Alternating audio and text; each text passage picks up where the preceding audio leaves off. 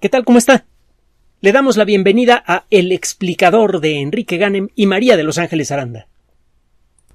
Desde el origen de la pandemia de COVID-19 hemos tenido que cambiar muchas perspectivas sobre eh, sus causas, sobre la forma en la que se contagia y, como consecuencia, la forma en la que tenemos que defendernos del contagio. Eh, se acordará usted, por ejemplo, que al principio de la pandemia no se tenía mucha confianza en las ah, mascarillas faciales. Al final de cuentas, los virus son muy pequeños, eh, eh, incluso los coronavirus, los coronavirus son de los virus más grandes que pueden afectar a un ser humano. Las partículas virales de COVID-19, las partículas de SARS-CoV-2, perdón, tienen entre 50 eh, y 250 millonésimas de milímetro, entre 50 y 250 nanómetros. Eh, eso significa que la partícula más grande es como cuatro veces más pequeña que una bacteria pequeña, como el estafilococo dorado. Como consecuencia de esto se pensó que las mallas de las, eh, de las mascarillas faciales no podrían detener a los virus. Ahora, la evidencia poco a poco fue cambiando esta perspectiva y ahora sabemos que las mascarillas faciales son realmente efectivas cuando se usan de la manera apropiada. Los virus no viajan solos por el aire, sino que van agrupados en pequeñas gotitas de saliva que pueden tener un diámetro incluso muy superior al de una bacteria. Así que utilizadas apropiadamente las mascarillas realmente pueden evitar eh, el contagio de COVID-19 y eso es lo que demuestran los datos. Eso es algo importante en el mundo de la ciencia, es de lo más importante que hay en el mundo de la ciencia, que la, la docta opinión de los expertos tiene que ser cambiada por los mismos expertos cuando la evidencia sugiere lo contrario. No se ve mal una persona que cambia de opinión como consecuencia del peso de, la evidencia. Eh, tampoco se ve mal, por cierto, aunque a veces esto no es muy obvio al principio, cuando una persona se niega a aceptar una idea aunque la evidencia parezca favorecerla, siempre y cuando tenga argumentos para defenderse. Total, en el mundo de la ciencia lo que importa no es el eh, apegarse a una idea a costa de todo, sino apegarse a una idea con base en la evidencia y su interpretación. Entonces, si cambia la evidencia y usted cambia su perspectiva sobre un cierto tema, eso no destruye su carrera científica ni mucho menos. En el mundo de la política muchas veces es al revés. Si usted apoya una cierta idea y luego cambia de perspectiva, pues lo pueden ver mal. El bien que desterremos ese, ese veneno de, la sociedad en general y aprendamos a, a basar nuestras opiniones en la evidencia pública, objetiva y verificable, pues la sociedad va a funcionar mucho mejor, pero bueno, no es eso de lo que le queremos hablar. Entre otras cosas, a lo largo de esta pandemia, ha cambiado mucho nuestra perspectiva sobre una forma de contagio que tiene preocupada a mucha gente, que son las, las superficies de contacto. El, eh, tocar una super, por ejemplo, el tocar el pomo de una puerta que fue tocado poco antes por una persona enferma y eh, toca usted el pomo de la puerta y luego se lleva la mano a la cara, eso puede producir contagio. Es una forma de contagio eh, relativamente común para ciertas enfermedades, para muchas enfermedades infecciosas, altamente contagiosas, y bueno, pues eh, inevitablemente el, se recomienda desinfectar activamente superficies y eh, esto a su vez tiene un, efecto muy importante eh, a nivel económico en todo el mundo. Ahorita vamos a discutir el asunto. El caso es que con la pandemia se desarrolló muy rápido y no ha habido tiempo suficiente para acumular evidencia que sirva para sustanciar o desechar esta perspectiva hasta hace poco. Lo cierto es que cuando usted revisa algunas publicaciones de editoriales como la, editorial Cell o la editorial La Lanceta, que son editoriales que producen varias revistas científicas diferentes, son editoriales con una eh, trayectoria eh, impecable, tienen muchas de ellas son eh, editoriales que tienen más de un siglo publicando artículos científicos de, altísimo nivel y bueno pues, son revistas las revistas que publican estas editoriales son revistas muy serias todas ellas. Bueno en, si usted revisa en Cell en la Lanceta en Science, en Nature, en muchas de las revistas de las editoriales científicas más importantes, empezará a darse cuenta que cada vez eh, el consenso de la comunidad científica está girando eh, en, una dirección que para muchos resultaría inesperada. Se supone que el contacto con superficies contaminadas, se suponía, es eh, altamente peligroso, hay que eh, desinfectar todas las, las superficies de uso público en particular, por ejemplo, sistemas de transporte colectivo, etcétera, etcétera, porque parece que esa es una fuente muy natural de contagio. Y ahora resulta que no. la, última, la última recomendación pública actualizada al mes de octubre eh, pasado de la Organización Mundial de la Salud, eh, dice entre otras cosas, no toque superficies de ningún tipo, especialmente en ambientes públicos, porque una persona con COVID-19 podría haberlas tocado antes. Limpie las superficies regularmente con desinfectantes estándar. Esta, esta recomendación de la Organización Mundial de la Salud sigue vigente, pero recientemente, principios de este año, el mes de enero, una persona, uno de los representantes de la Organización Mundial de la Salud, le dijo a, a, uno de los editores en jefe de una de las editoriales que le acabo de mencionar que la evidencia de que el coronavirus pueda pasarse a través de superficies contaminadas es muy limitada.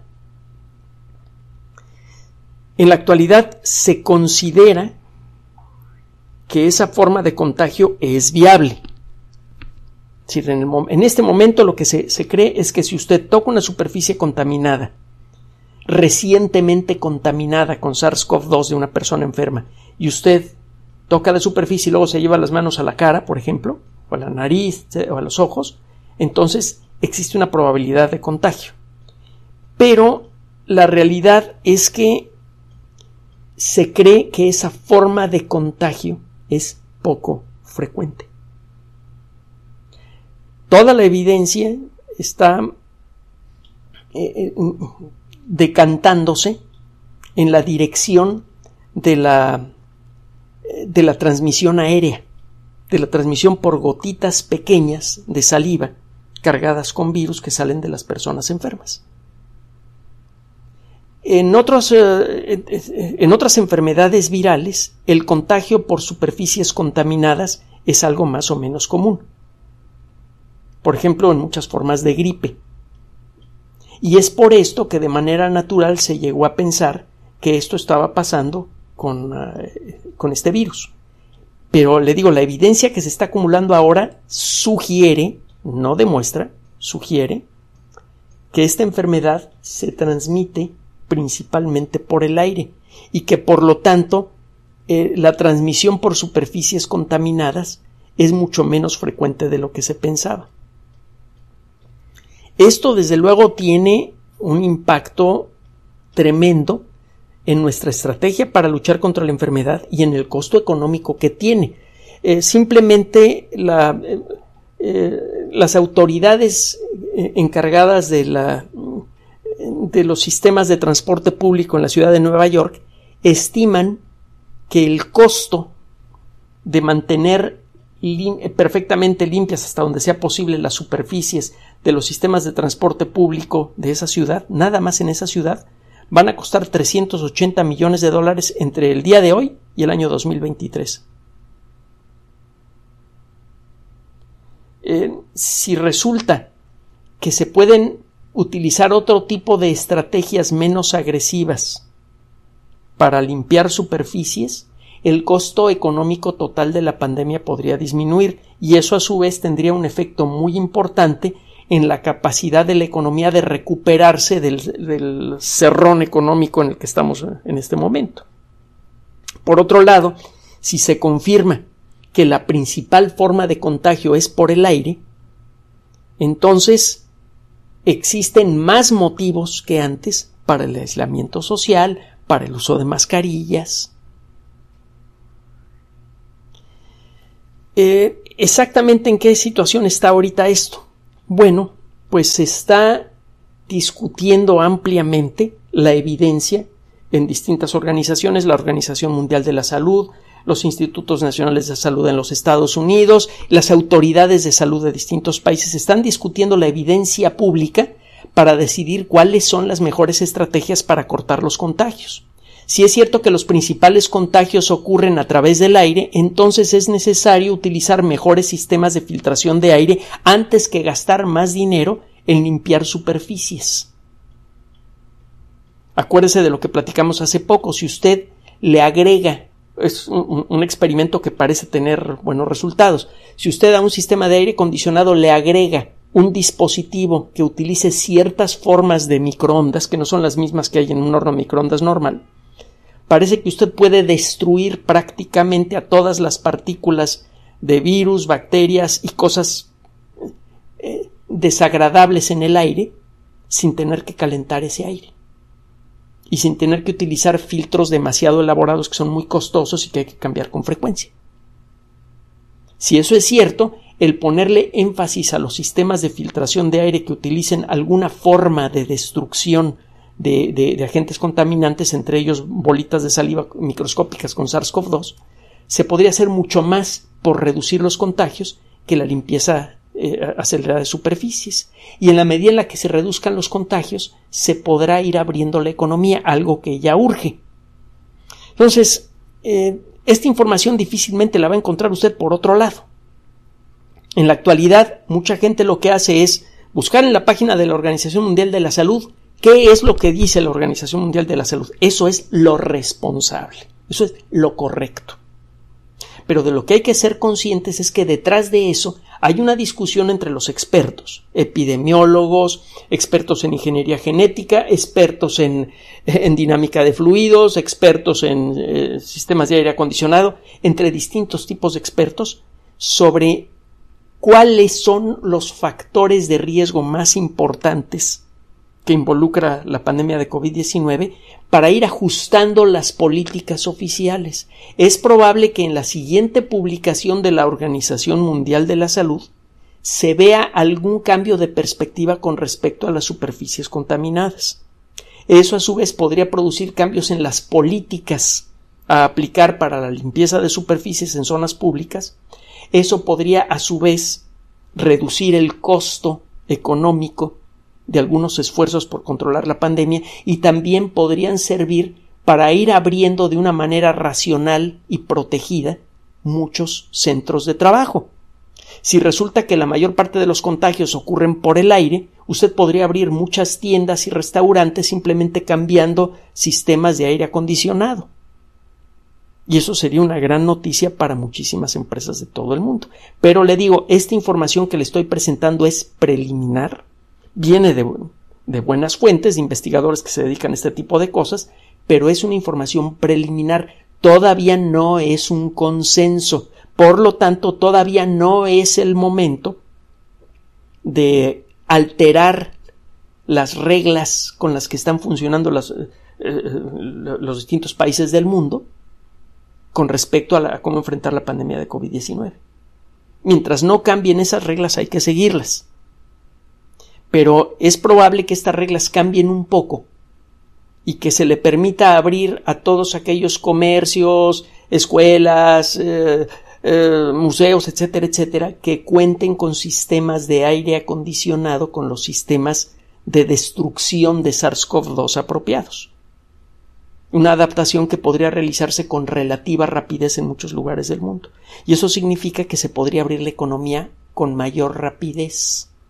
Esto es una noticia eh, importante y obviamente sabemos que es preliminar, pero obviamente vamos a seguir eh, manteniendo nuestra atención sobre ella. eh, ¿qué más, qué otra noticia le tenemos por ahí? Porque le prometemos dos noticias. Es con respecto a una de las vacunas. la vacuna de, de Johnson y Johnson, que hemos mencionado en otras ocasiones, es especialmente interesante porque involucra una sola dosis. Y eh, esa vacuna pues puede facilitar en mucho el vacunar personas que se encuentran en zonas de difícil acceso, por cuestión económica o por cuestión física. Esta vacuna no es tan efectiva como otras. el 29 de enero Johnson y Johnson anunció que en las pruebas que ellos hicieron la vacuna tenía un 66% de efectividad 28 días después de haber recibido una sola inyección las, personas que participaron en la prueba. Es decir, que casi un mes después de haber recibido la, inyección, el 66% tenían una reacción inmune fuerte, eh, eh, protectora. Ahora, eh, en la gente que tiene puesta la vacuna, el 72% de esas personas no se enferma de COVID-19, aunque sea sintomática, no se enferma. Si se trata de la variante normal, la variante sudafricana, es, la vacuna es solo un 57% efectiva contra la variante sudafricana, que es la que parece ser más, eh, la que cuesta más trabajo enfrentar de todas las que han aparecido por allí. Esta no es una mala noticia por cierto, porque el modificar esta vacuna para que se vuelva más efectiva contra la variante sudafricana es un trabajo relativamente sencillo. Y como esta vacuna ya se probó en seres humanos, el hacer las pequeñas adecuaciones necesarias para hacerla más efectiva contra la variante sudafricana también eh, no debe involucrar la necesidad de volver a hacer las pruebas nivel 1, nivel 2, nivel 3. El mejorar la efectividad contra la variante más común de SARS-CoV-2 tampoco debe involucrar volver a hacer pruebas de nivel 1, nivel 2, nivel 3. Entonces, si por ahí usted escucha noticias de que las nuevas vacunas no son tan efectivas, que están, eh, eh, que están perdiendo efectividad contra el virus y las mutaciones y el rollo, cálmese, cálmese. Obviamente los científicos también evolucionan junto con la enfermedad, lo hemos comentado en otras ocasiones. Si están apareciendo variantes de SARS-CoV-2 para las cuales la vacuna no funciona bien, lo que es necesario es hacerle pequeñas adecuaciones a la vacuna y sacar nuevos lotes que sean más efectivos.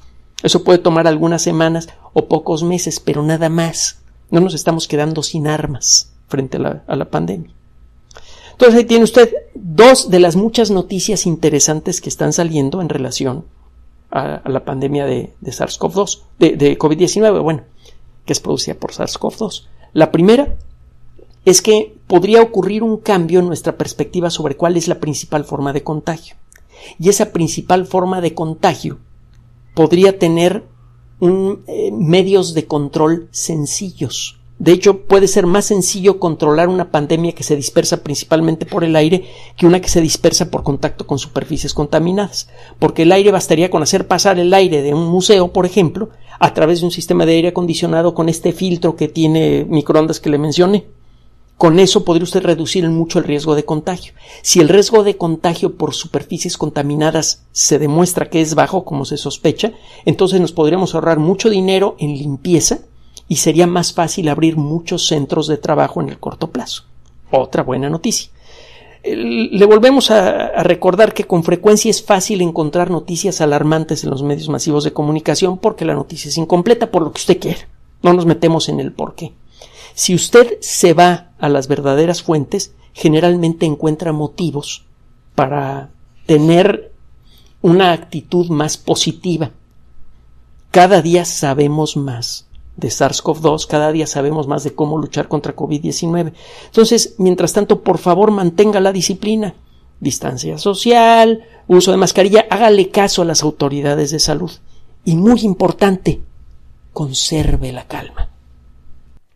Gracias por su atención. Además de este canal oficial en YouTube, tenemos nuestro sitio web www.lexplicador.net, las redes sociales de siempre, Twitter Enrique-Ganem, Facebook Enrique Ganem, sitio oficial. Recuerde que también por sugerencia suya tenemos abierto un espacio en Patreon, el explicador Enrique Ganem, y en PayPal el explicador patrocinio arroba gmail.com, gracias a los cuales sostenemos este espacio. Finalmente, el explicador siempre somos María de Los Ángeles Aranda y Enrique Gana. Gracias.